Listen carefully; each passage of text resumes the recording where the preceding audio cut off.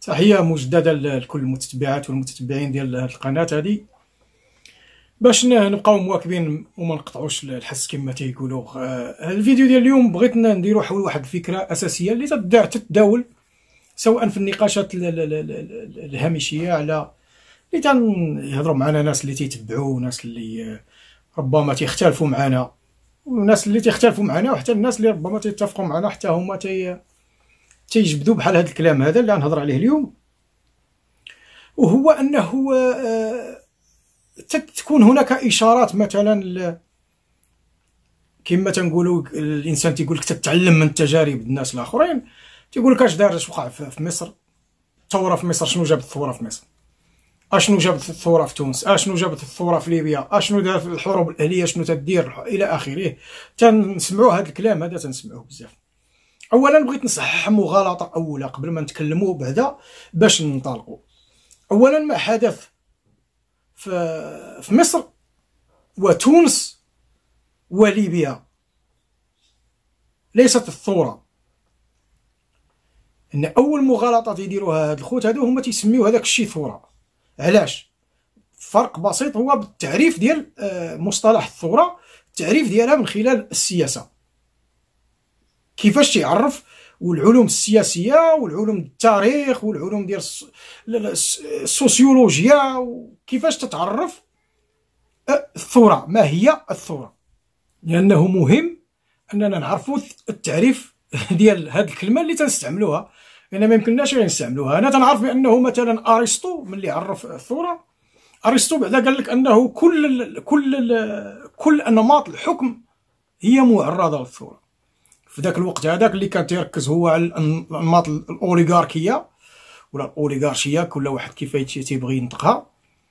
والأنماط الحكم الديمقراطية. الأوليغارشية بطبيعة الحال اللي تتختزل في الأرستقراطية الحكم ديال الطبقة الأرستقراطية إلى آخره. والديمقراطية اللي راه معروفة اللي كانت الجماهير أغلبية الجماهير هي اللي تتولي تتحكم بزمام الأمور. اذا هو تيقول لك أنه كاين جوج أنواع ديال الثوره بالنسبة لأرسطو. بالنسبة لأرسطو كاين النوع ديال الثورة الأولى هو أنه النوع اللي تؤدي إلى تغيير الدستور. اللي سائد إلى دستور جديد.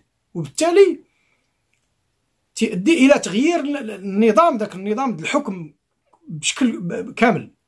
والنمط الثاني هو التغيير ديال الحاكم مع الحفاظ على نفس النمط ديال ديال الحكم. وهذا آه، التعريف هذا ديال الثاني هو اللي من بعد مع تطور العلوم السياسية وعلوم الاجتماع إلى آخره وكذلك هي مع الثورة مع النهضة والثورة الصناعية إلى آخره. الفلسفة في حد ذاتها تطورت وتغيرت لأن حنا تنعرفوا الفلسفة اللي هي تدارس هذه المفاهيم هي اللي هي الأم وفيها علوم أخرى تدارس هذه المفاهيم من ايبيستيمولوجيا وأنثروبولوجيا وإيتيمولوجيا درس مفهوم المصطلحات إلى آخره. راه ماشي تلقاو التعريف ديال واحد الكلمة في dictionnaire راه ما وراه والو راه وراه ايديولوجيا وعلماء وتضاربوا وتقارعوا وفكروا وتجادلوا إلى آخره. باش وصلوا للتسمية. أصبحت هذيك الثانية تدخل في, في, في, في, في النسق ديال الانتفاضات. لأن الانتفاضات قادرة على أنها تطيح الحكم لكنها غير قادرة على أنها تغير النمط ديال الحكم السائد سياسيا واقتصاديا إلى آخره. إذا ملي تنتكلموا على على على الثورة ملي مثلا غنتكلموا على المفهوم ديال الثورة كاين مثلا التعريف اللي عرفوها الفلاسفة الإنجليز قال لك أنها هي من أهم العوامل اللي تتخلي واحد المجتمع معين يحقق الإمكانيات ديالو الكاملة. لأن تيكون تعيش تحت واحد الاضطهاد واحد الكبح ومن خلال الثورة تيثور وتيخليها هادشي علاش مثلا الثورة الثقافية الثوره الثقافية تقدر ما تطيحش نظام ولكن تتغير آه، ثقافة مجتمع شامل لواحد المنحى ولا هذاك النظام السائد ما بقاش تيتماشى مع الثقافة الجديدة ديال هاد ديال هاد ديال اللي تطورات في ذاك المجتمع. فسيكون المآل ديالو أنه سوف يسقط كذلك من خلال الثورة السياسية. آه، اللي بغيت أنا نقول ماشي باغي نعقد الأمور هنا ولا باغي ندير أنا بغيت نقول لكم مثلا علم الاجتماع من اللي بغى يعرف. الثورة اعتبرها على أنها التغييرات الجذرية في البنى المؤسساتية المؤسساتية ديال ديال للمجتمع. تنتج منها تغييرات جوهرية وتغييرات ظاهرية سطحية. ولكن أهم حاجة هو أنه النمط السائد تنتقل إلى نمط جديد.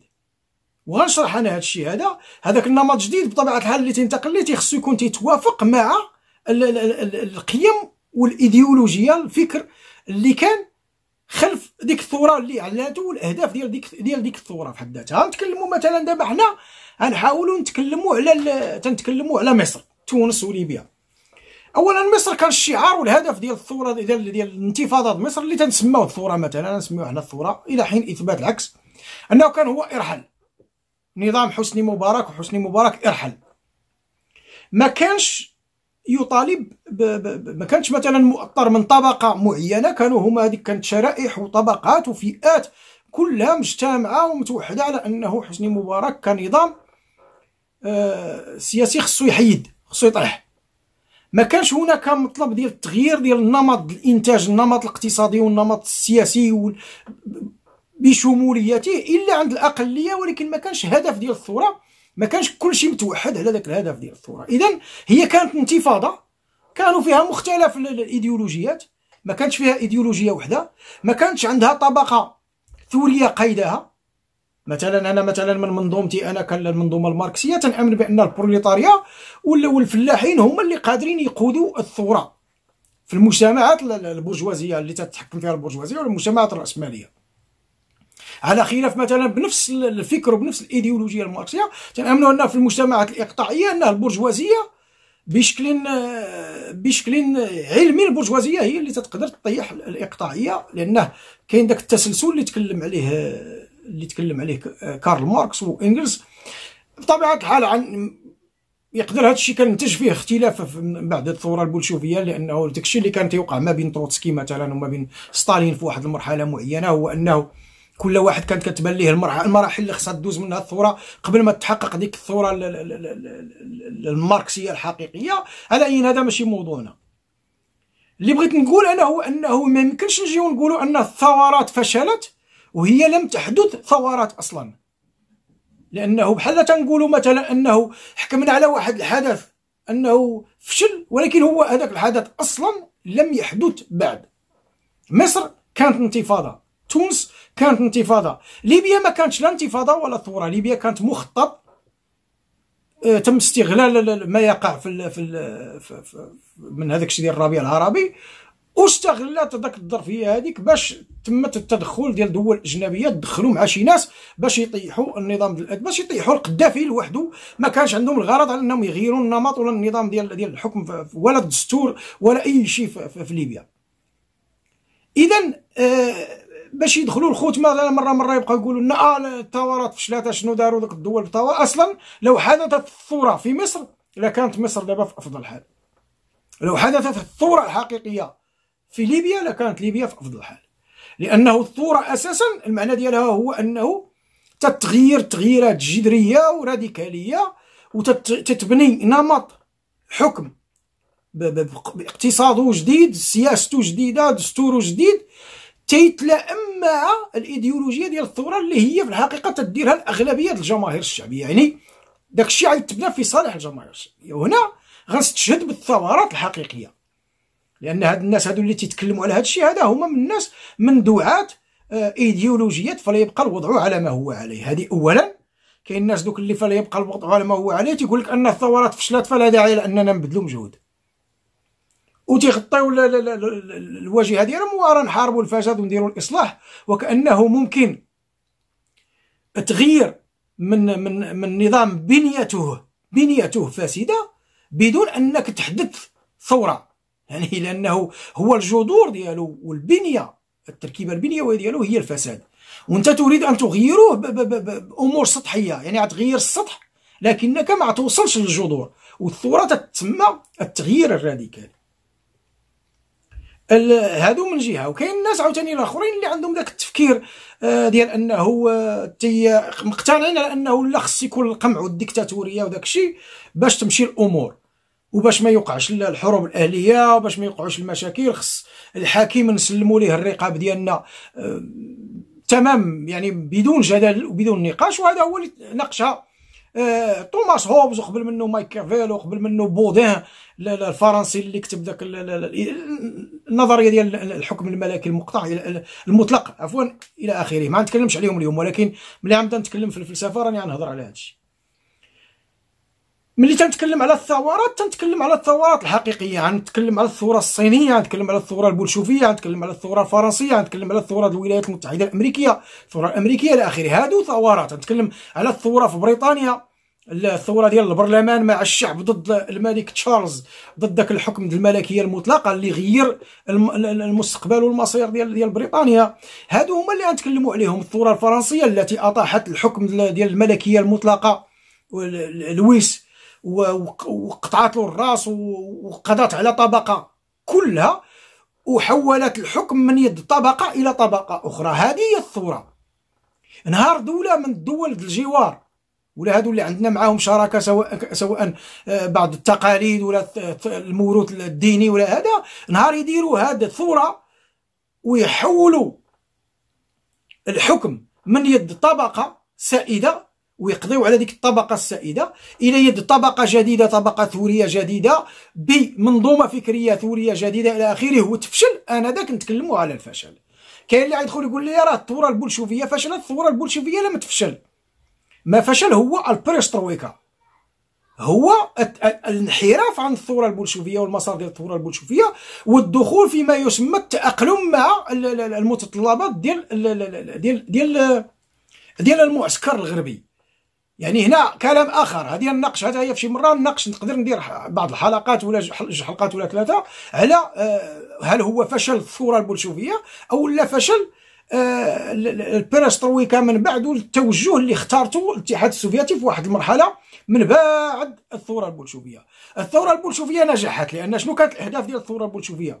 هي الإطاحة ديال ديال ديال التزار ذاك النظام وذاك الحكم أطاحت به وبناء آه، تحويل الحكم من من يد هذوك الطبقة اللي كانوا الأرستقراطية والنبلاء مع ذاك التزار إلى آخره مع الجيش مع الكهنوت إلى يد الطبقة البروليطارية. وفعلا كان حزب يمثل حزب العمال هو اللي حكم إذا الأهداف ديالها نجحت واستمرت في البناء. الثورة لا تتوقف الخوت. الثورة ما تتوقفش.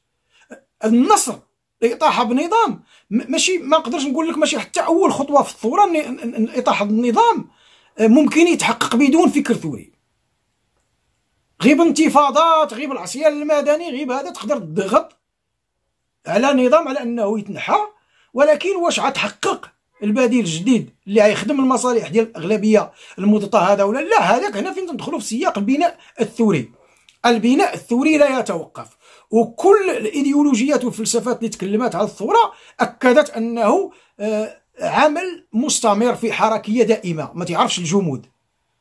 لأنه لو وصلنا لحالة الجمود وصلنا لحالة الركود ووجبت الثورة على داك الشيء الجامد هنا هو هذا هو. أصلا الثوره تدار على أمور وصلت لواحد ال stagnation واحد الحالة مستنقعية وبدات تتحرك ما بقاتش تتواكب وتتلائم مع المتطلبات المجتمع إلى آخره. فبالتالي يجب الثورة عليها يجب la révolution باش نديروا une évolution نديروا واحد التطور واحد التقدم. اذا هادو اللي تيستعملوا هاد الفكرة ديال الثورة هذا راه ما كاينش راه ما كانتش الثورة في مصر ما كانتش الثورة في, في, في, في تونس ما كانتش الثورة في, في, في ليبيا. اللي كان هو كانوا انتفاضات والهدف ديالها كان واضح هو الإطاحة بالحاكم. ماشي حتى بداك النظام الحكم لأن ما كانتش تتحمل إيديولوجية آه، آه، مناقضة ولا متناقضة مع ذاك الحكم. كانت هو غضب ناتجة عن غضب وعن سخط وداك الشيء. هذيك ليست الثورة.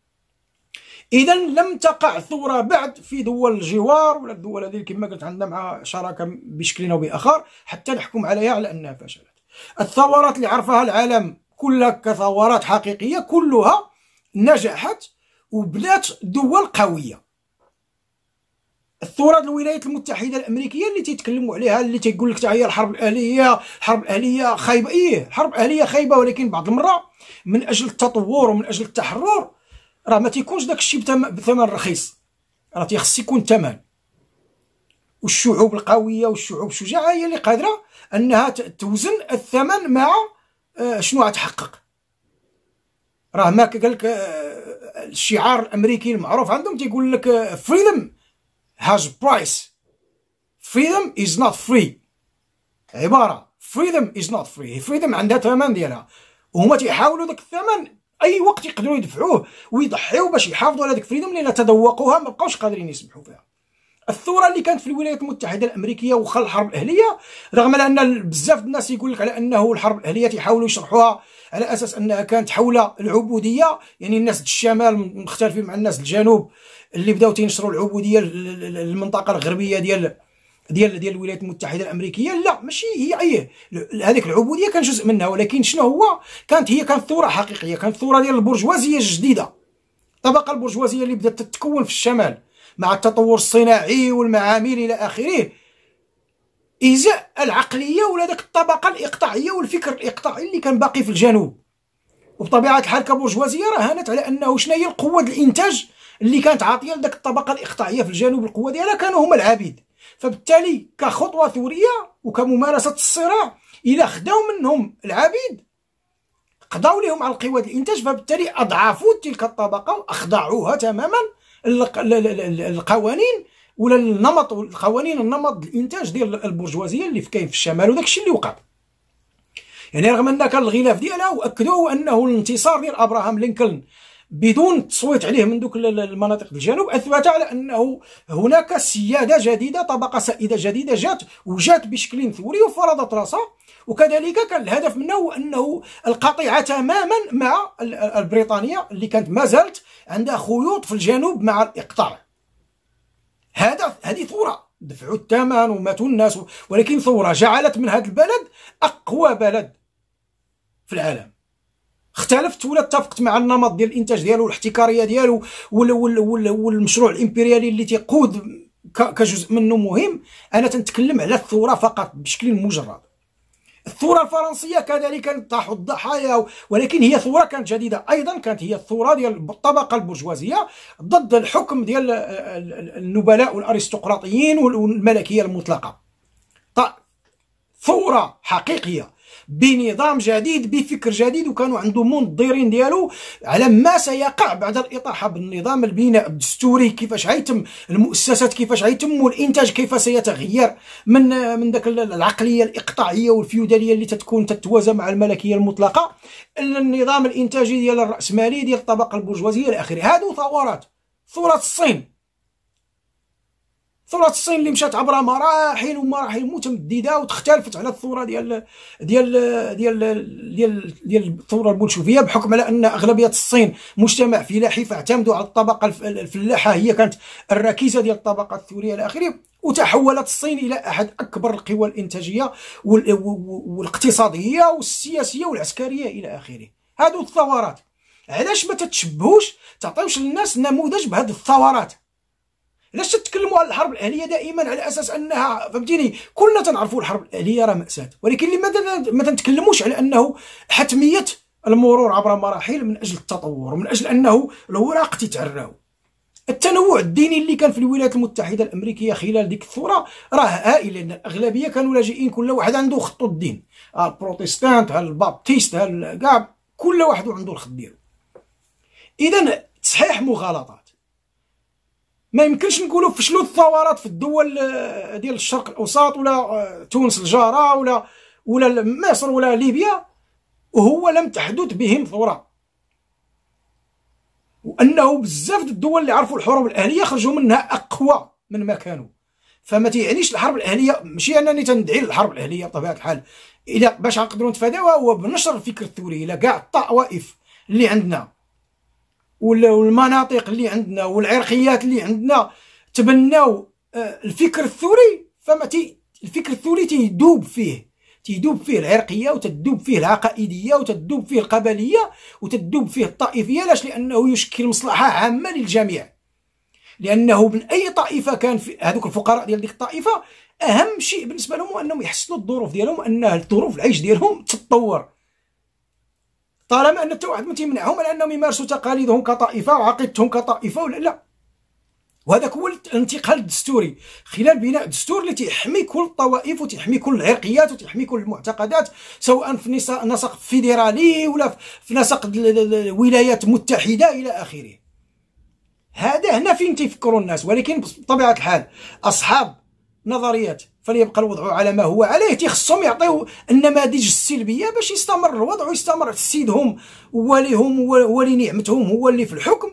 آه، سواء بالحكم المطلق كما يفكر فيه هوبز وبودان ومايكافيل أو لا من خلال ممارسة الاقتصاد الدريع. هما في أمل على أن هذا الريع مرة مرة يقدر يوصلهم ويقدروا يوصلهم منه اذا هذا هو اللي كان عندي ما نقول في هذا النهار هذا في هذا النسق هذا. و إلى حين نتلاقاو في فيديو قادم وراه ديك الدروس ديال الفلسفة راني بديت تنوجد لها حلقات بغيت نوجد حلقات كثيرة باش يكون دائما عندي ما نقدم في هذه الحلقة على بال ما نوجد حلقة أخرى. اذا تحية لكم ودمتم بالف خير مع السلامة.